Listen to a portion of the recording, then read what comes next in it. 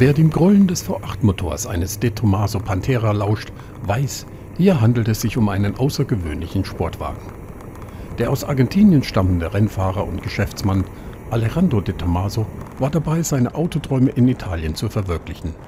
Mit dem Geld seiner Ehefrau Isabel Haskell, der wohlhabenden Enkelin von William C. Durant, dem Gründer, des, dem Gründer von General Motors.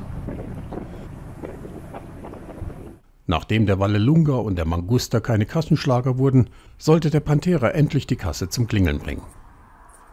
De Tomaso kaufte erst einmal ein.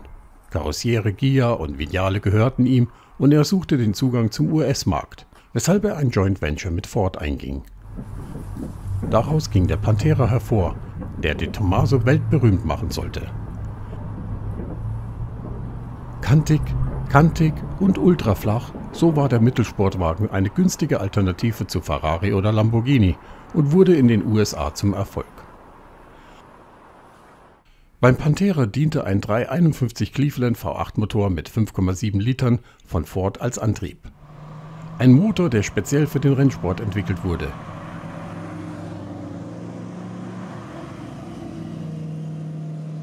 Das keilförmige und geradlinige Design des Pantera wurde von Gias Designchef Tom Giarda gezeichnet.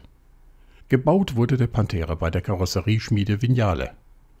Ab 1971 besaß De Tomaso in Modena eine eigene Fertigung für die Pantera-Modelle.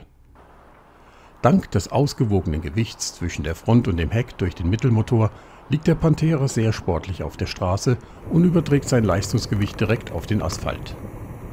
51% des Gesamtgewichts liegen auf der Hinterachse. Allerdings bringt eine falsche Lenkbewegung auch eine direkte Reaktion mit sich und kann schnell im Graben enden. Denn immerhin wirken 330 PS.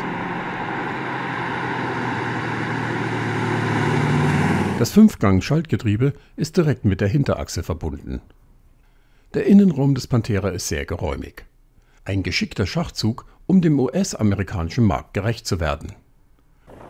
Allerdings fiel die Geräuschdämmung sehr zurückhaltend aus und durch den Mittelmotor heizt sich der Innenraum bemerkenswert schnell auf. In den USA wurde der De Tomaso Pantera in den Showroom von Lincoln Mercury verkauft. Ford hatte bald Absatzprobleme mit dem Pantera, was den Ruf des Pantera schädigte. Über die tatsächlichen Produktionszahlen gibt es unterschiedliche Aussagen. Es wird geschätzt, dass rund 7000 Exemplare gebaut wurden. Die Produktion des ersten Pantera-Modells wurde 1976 eingestellt.